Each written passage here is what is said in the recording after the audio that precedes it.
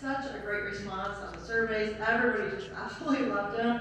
Um, and so we wanted to kick off the new year right, and so we thought of bringing him back and, and have him do another presentation for us, which is the way to go. Um, we really appreciate you coming again and, and supporting our chapter in the way you do. Um, so uh, Dr. Perry is the founder and senior vice president of Katalis Executive um, Advising and Development, and he's a, a retired Army lieutenant colonel and licensed clinical clinical psychologist, clinical trainer, and teacher. So he's got a lot of things going on. Um, he's really passionate about transforming lives um, through enhancing connection and building trust. And we got a great one about social media and how that's going to play all into our communication. So it's going to be um, wonderful. So really appreciate him um, coming in and doing this presentation. And without further ado, Dr. Perry. That, that's that. No, no, no, I think we're gonna go straight from here. Mm-hmm. Yeah.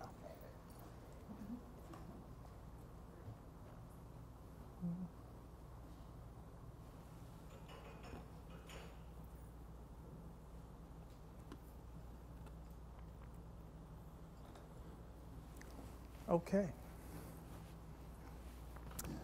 I think that'll work. Good evening, everybody.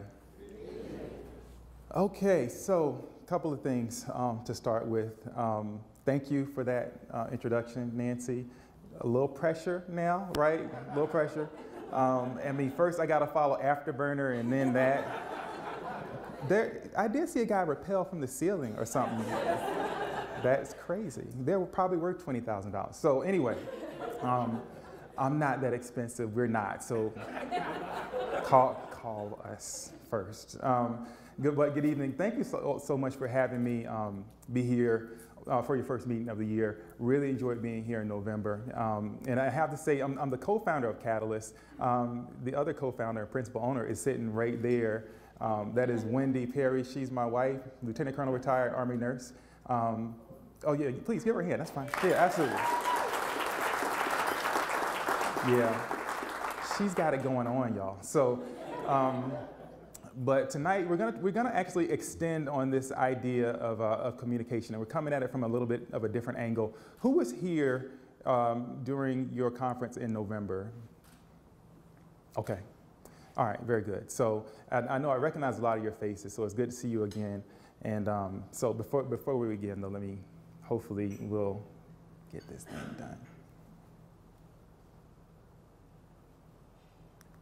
Okay, so if you were here, you know how this goes, right? Now, because I'm back so soon, um, you just got you have to hear it again. And, but I think it's appropriate always to talk about America's team. I'm in therapy right now. I'll be okay. so it's uh, uh, it hurt. It, it pains me, but I'm gonna keep looking at that picture until it stops hurting. Okay. But so I know some of you are not in agreement, Mr. Patriots man up here, whatever. Sit down, Dan. Oh, and thank you, Dan, for the invitation, by the way. All right. So, um, but but really, America's team is those folks, right? Now. Last time you made, I don't know if you recall, I kind of forgot the, the uh, Coast Guard innocent mistake, but I think um, I, I got to correct that. And so the Coast Guard is represented up there right now. But I got to tell you all, and I, I, I, say this every time I'm in front of, I'm in front of a crowd. Um, you know, the, the, the slide before I came up said something about um, you all being in debt to, you know, um, veterans. I, I, think we're really in debt to you. The support that we've gotten um, has been nothing short of phenomenal. And I was with a group of folks on Monday uh, from the Vietnam era. And we were, just, we are talking about the difference, right, in terms of um, how America has really rallied behind and, and supported us. I'm telling you now, if, if you go to Atlanta in a uniform, you cannot get your credit card out of your pocket before somebody pays for your food. Um, that's really phenomenal. And so I just thank you all. So if you served, if you ever supported anybody who served, if you said thank you for your service, thank you. All right. So.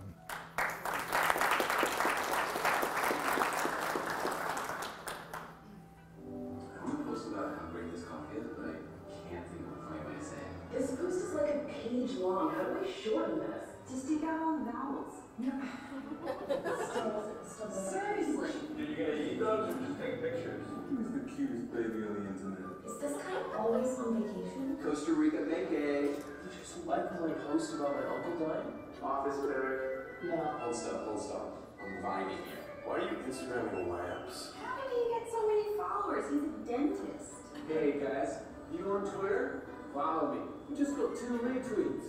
Sometimes I want to move to another country where I don't have to deal with this stuff.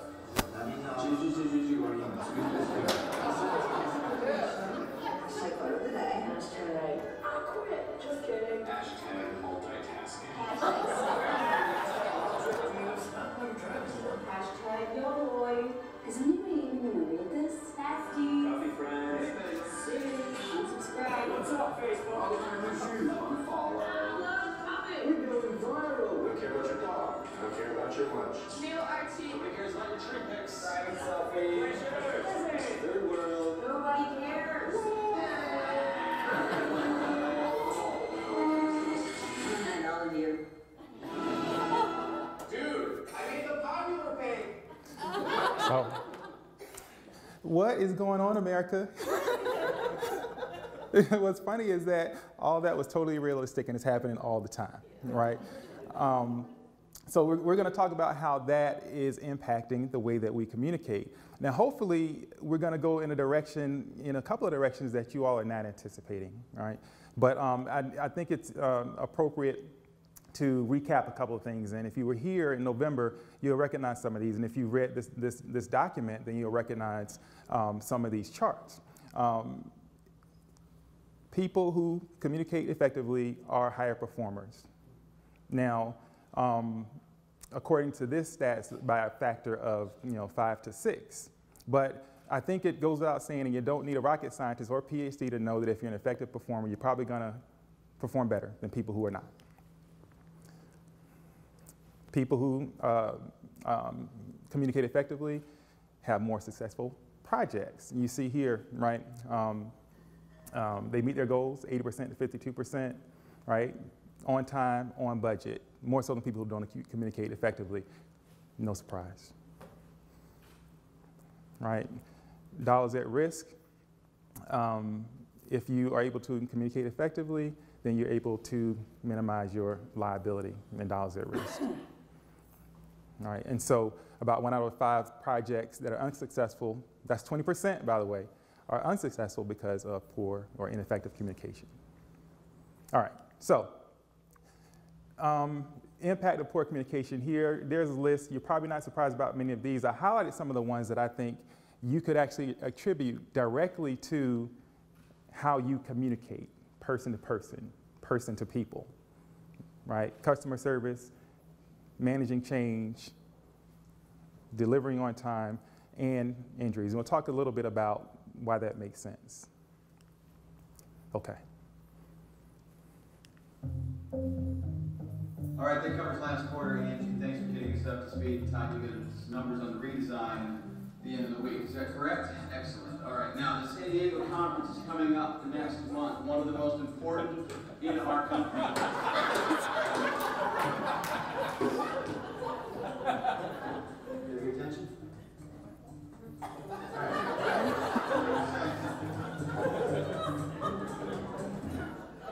I, lo- I could not stop watching that video. I love that video, right? Has anybody ever felt like they wanted to do that? Okay, so here's the bad news you can't do that for a number of reasons. I mean, getting sued and all that, but the world is different now, right? The way that we, that we exchange information is a little bit different. Who has kids in middle school, high school right now? Right, and so the day that, that they told us that they were actually using those cell phones and tablets in school, how did you feel? What did you think? Exactly, right? No way. And, and of course, with good reason, right? There's a lot of concern around that. Now, smartphone ownership um, is pretty high. I thought it was higher, right? But according to the Pew Center, uh, smartphone phone ownership sits, you know, um, look at you can look at the age ranges, and by no surprise, 18 to 29 year olds, 85% of 18 to 29 year olds have smartphones, right? Um, you know, even if you're what uh, up to 64, more than half, right? And if you look at the very bottom stat, 70, $75,000 or more income, 84%. So most people have smartphones. I wonder if I could find a person in this room who does not have a smartphone. Anybody? No way, are you kidding? Okay, I'm gonna, can we get, I'm gonna take a selfie with you guys later on. okay, so, all right, but high smartphone ownership, that's the first thing to keep in mind. Now, using them for social media, watching videos, music, podcasts, etc. If you take a look, by no surprise, again, that younger age bracket, the 18 to 29 year olds, by far um, are using it for those purposes more than anybody else. However, you know, look at folks up to, you know, statistically speaking, up to 49 years old, 77% social networking, right? 50 plus, 55% social networking, right? My grandmother's on Facebook. I'm not even on Facebook, at least not, you know, not a personal account, right? Um, so watching videos, you can, you can kind of see the numbers and look at the trends. The bottom line here is that most people are using those phones for something. Okay, so lots of electronics, a lot of things going on. Any guesses to what the average human attention span is? I won't leave it open ended, I'll give you some choices. So, really.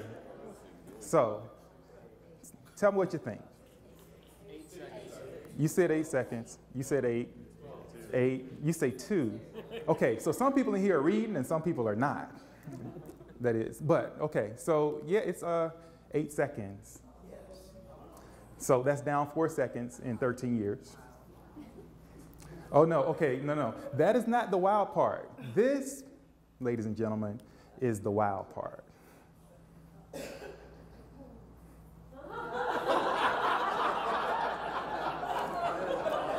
Apparently, we have an attention span that is shorter than that of a goldfish. Now, I know, now I know what you're thinking. I know the question that's on everybody's mind right now. How in the heck do you measure the attention span of a goldfish? I have no idea. they wrote it, I, you know, I'm going with it, right? But this was actually based on a study that was done by um, Microsoft in Canada. And so um, a lot of what I'm going to show you came out of that study, 2015, right? So it's 2017 now, so probably we're at like seven seconds, I would assume, right? So some people less. Um, and, and I don't have it here, but if you look at some of the literature, people are checking cell phones anywhere from what 85 to 125 plus times every day you know at least once every hour and there's something about that phone there's something about getting those messages right um, we'll, hopefully we'll talk a little bit about that if we have time and so this is the result it's what we get and so why do I have an emoticon up there, an emoji or whatever they call them now, right? why do I have that there? because this is communication today, right? Now, I, okay, time for some honesty, and it's okay. Nobody in this room will judge you. Who in this room has ever used an emoji? Yeah. yeah, right? Who in this room surprised themselves the first time they actually used that emoji? I'm like, there's no way, smiley face, what are you talking about? My name's Mike, I'm not using a smiley. Yeah, smiley face, right? Or frowny face, or whatever, we use them. Why? Because they say more with one little symbol than we can say in a paragraph often.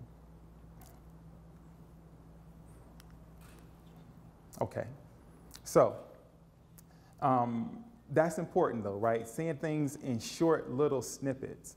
Um, our ability to focus long term is, um, well, it's just not that high.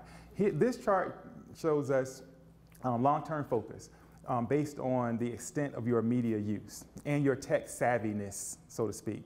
So heavier the media, then the less you're able to focus. The more tech savvy you are, interestingly enough, less you're able to focus. And so you'll see they're broken down into light, medium, heavy use, and the, the various types of media you might use. Web, um, multi-screening. Multi-screening is an interesting phenomenon. We're, I'm definitely going to talk about that, social media, et cetera. But the bottom line is um, our current, uh, the technology that we're using right now, um, our brains are changing. Okay, now, I know what some of y'all were thinking, well, you know what, not me, yeah, you. So this is broken down into age groups, right? This is the ability to sustain attention. Now, there are a lot of measures that went into these percentages, right? So it's hard, it's difficult to say 35% of what? But they did brain scans, they did video, they evaluated people, people's, um, they monitored their motion, their movements, how many times they looked at phones, right? And so they came up with some metric. And so, bottom line, what it tells us is from, the, from, our, from our younger generation up to folks who are um, a little more senior, 31 to 35% is the range of being able to sustain attention, not that high. Because we're all in this. We all have, we all have phones, most of us, except for two. And, you know, HD televisions. There's a reason why. Does anybody remember um, what a standard definition screen looks like? You know, when you go into a restaurant now and you see that box sitting there and that TV is sitting there and it's on, what do you say? Oh man, this is unwatchable, right? I mean, HD when it first came out, you can see the, the you see the hair, the beard, and the, and the, drops of the water, and you know the the whatever mist flying off of the football. You can see all that stuff. It was amazing. And how many of you look at your televisions in awe now? Right, right. You're looking for the next thing, right? Look at what to see what Samsung has next. Our brains are changing, right? Okay, so these, according to that study, these are some, of the, some of the top factors that affect attention span. Extent of your media consumption, social media usage, multi-screening behavior, and technology adoption. Now, multi-screening is simply having a computer, a smartphone, a tablet. Now, you know, and I was like, multi-screening, and I look up and I'm sitting at my desk and have laptop, laptop, phone, and my tablet's over there because, you know, I, I hadn't grabbed it yet. So, um, so here's some of the impact on your brain. All right, this is actually not a bad thing, right? Sustained attention is a problem, but with uh, increased social media use, there is this immediate um, increase, a short burst of high attention right at the beginning when you begin taking this stuff in, right? So, this is also very interesting. Heavy social media users pay more attention in interactive environments and less in passive. That means when there's a lot going on, they are able actually to, be, to take in information still. But if you have to sit somebody who tends to use social media heavily and sit them in front of television, then they're not as attentive. Isn't that interesting? So, for those of you who've been screaming at that kid, like, you know, listen to me while you're, stop texting and listen, they're probably listening, actually. And the data would suggest that they can take that information in as they're doing what they're doing. But I'm, st- I'm, i mean, I'm just saying that's the data. You can still, still tell them to like look in the eye because that's you don't want any trouble. All right. Um, also, if you're, if you're an early tech adopter, that means no matter what generation you're in, if you're, if you're getting that next smartphone, if you're jumping on the next app, if you're like in tune with all those things, then your brain tends to work in a very similar way. And um, a very short burst of high attention at the beginning, which becomes very important for messaging, marketing, and all those things. All right, so, but multiple, screen, multiple screens become a problem because people begin, begin um, having difficulty filtering distractions when they have the more screens they have apparently. Now, so if you're a moderate social media user, that's about the sweet spot in terms of being able to um, attend to what's going on around you. As you increase and you get into what they consider um, heavier use, then attention begins to degrade. Okay, so apparently, if you are a heavy user of digital media, then you can take in information from all around. So it's kind of what we said. All right, so, but these are the folks that are driving all of this, right? Folks who were born into this, um, this generation, into this time in history where all this technology exists. About 30, 34% of the workforce. What does that mean? That means None of this is going anywhere. So if you believe that there is a chance we're going back to the good old days, forget about it. Not going to happen. Okay? So, and there's a good reason why. Technology, despite all of what I just told you, some of you are probably thinking, ah, oh, man, this is, this is pretty horrible, right? but this is what is possible.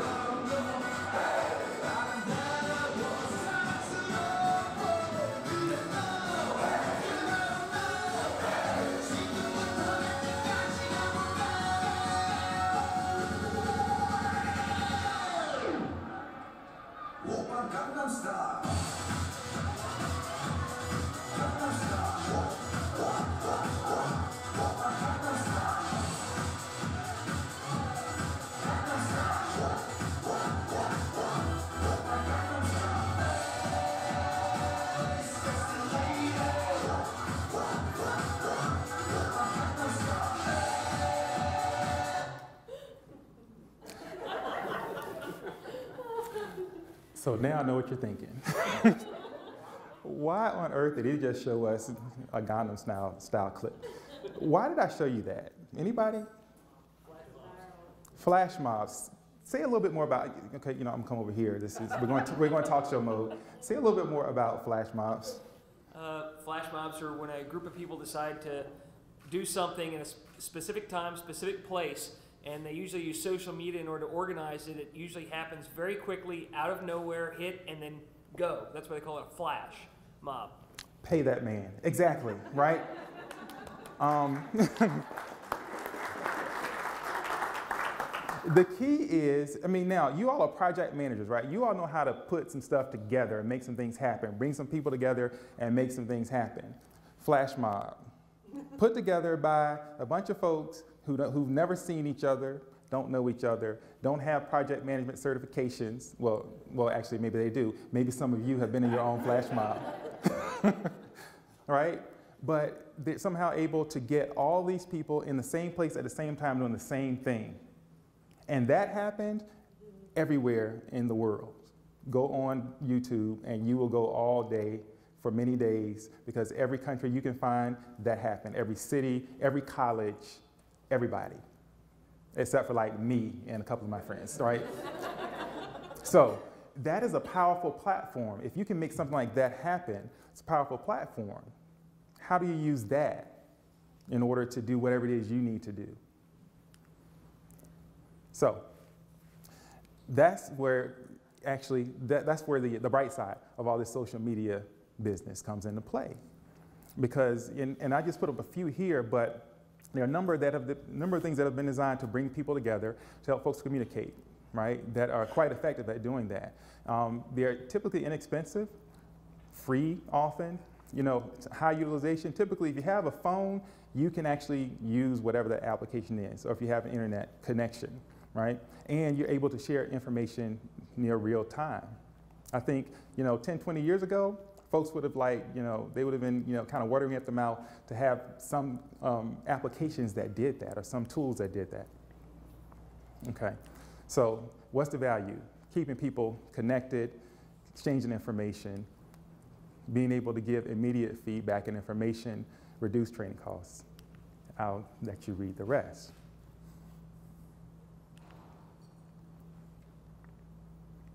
So, and th- these are just some ideas about how actually you could actually use social media in business to get some things done that might be effective for you. Now, this one actually, I think the um, that executive leader blog, blogs, podcasts, um, videos. If you're a leader and you're trying to get the word out to folks, you're trying to keep people motivated around a vision or a mission, it's a great way to do it. And by the way, you should probably take advantage of um, this, uh, this conditioning that we have, right? There's a reason that Facebook has exploded. And some people think it's because you can connect to everybody that you know. I don't think that's the reason. You know what I think the reason is? It's likes. Likes, right? To- Facebook has created a token economy, right? You put something out and somebody clicks it, they like it. And when you see that like, you like it. And it gives you just a little shot of dopamine, right? It makes you feel good and it makes you do whatever you did more, bigger, right? You know, Instagram, same thing. My kids have Instagram. And, they, and then it's down to a science. Some of you in the room know the science, right? You send out your post and you know how long you wait before you check and see how many likes you got in Instagram. And, it, and they even dial it down to the time of day, right? So you can't send it middle of the day. People are busy, so you wait till like six. you send it, and then you know, so you get to, and you, they want like 200. Well, it was 200. Now it's like I don't know what it is, but it's like there's this number that they have, right? Oh man, I hit 198. Mm. Need a better picture next time, right? And so they just do, like I said, it's more, it's bigger, it's, and so people get kind of hooked on that little bit of pleasure they get from getting that feedback. So, how do you use that wherever you are? Find ways to use the system and to provide that feedback. Or to provide people the opportunity to know that whatever they sent, whatever they put out there, was heard and received by somebody and appreciated. Okay. So, Social media, sustained attention, a little lower, generally speaking. Um, your ability to kind of select from a number of things going on um, worsened as you add additional screens, things that you're looking at. Kind of makes sense. All right, and your ability to alternate and go back and forth and pull in and out um, can be okay until you begin to ramp up the, di- the digital media use and you lose the ability to shift from task to task. So here's some recommendations um, I have for you, okay?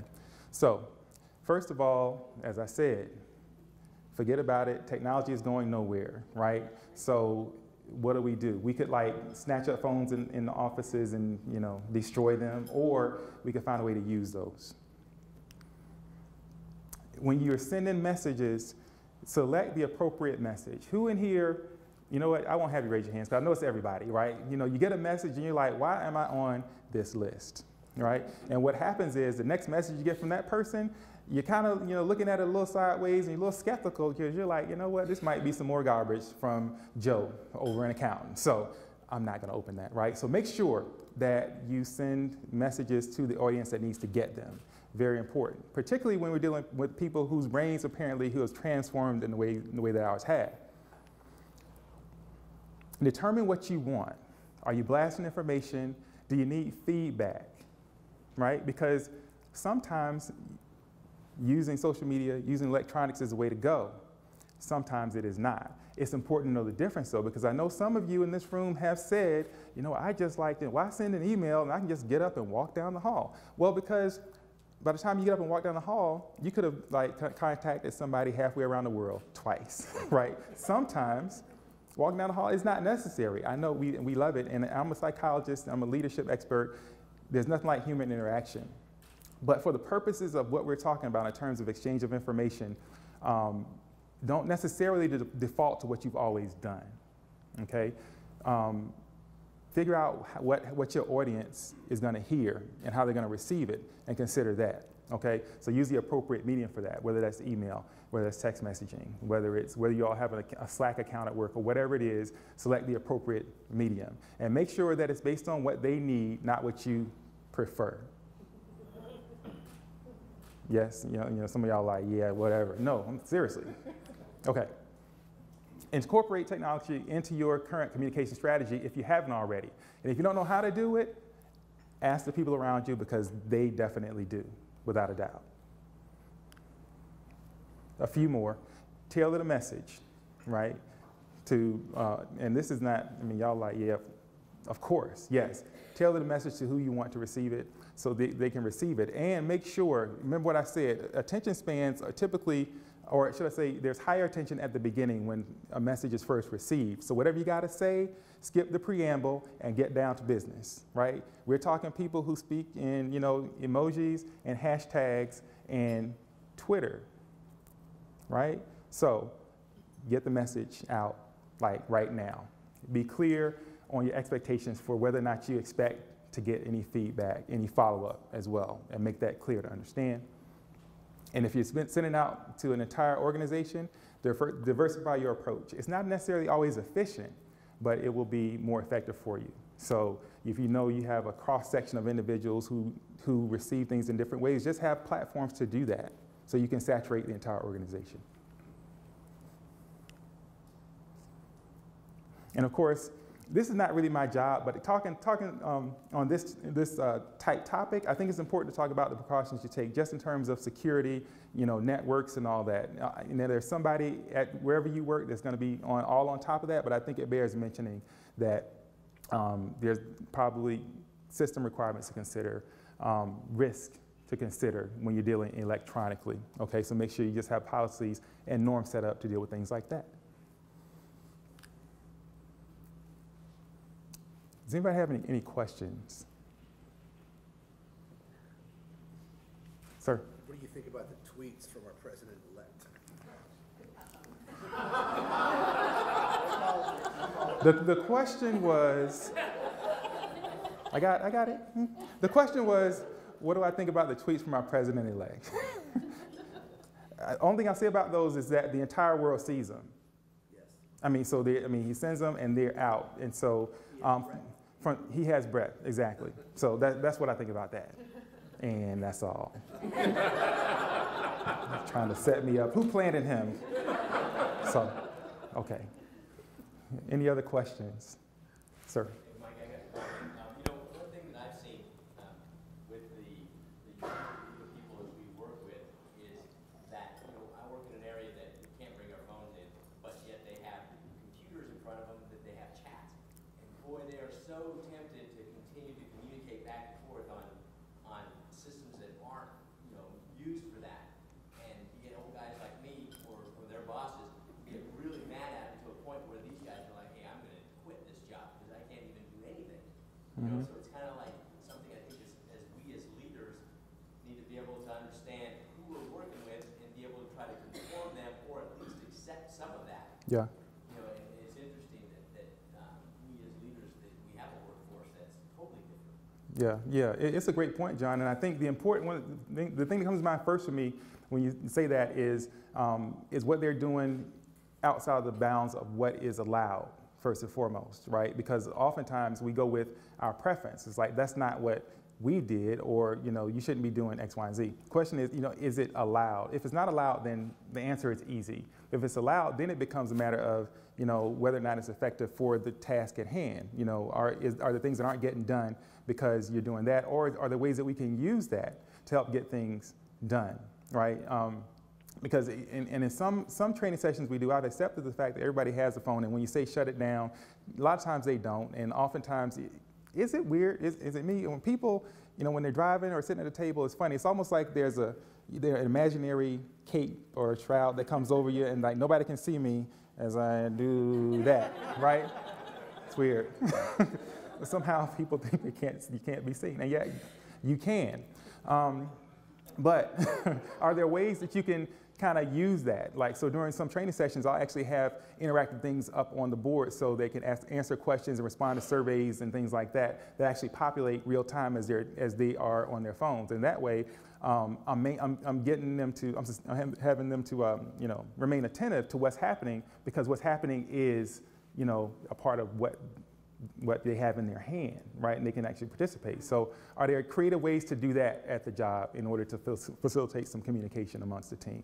So, but um, yeah. So don't. But hey, you know, don't shut them down immediately, people. You know, let's not be, you know, um, well, anyway. like I said, if you can't beat them, join them if it's with, if it's allowable. Any other questions? Comments? Okay. Well, I appreciate you all um, uh, listening to me and not falling asleep. Um, so, um, and if you ever need anything from me at all, please let me know. That's my contact information up on the board. And um, we also have some business cards as well. But um, in terms of speaking, coaching, leader development, things like that, um, it's kind of what we do. So, and we don't charge $20,000 yet. Get in on the ground floor. all right. But, um, but hey, look, thank y'all. Y'all have a great 2017. Thanks. Appreciate it.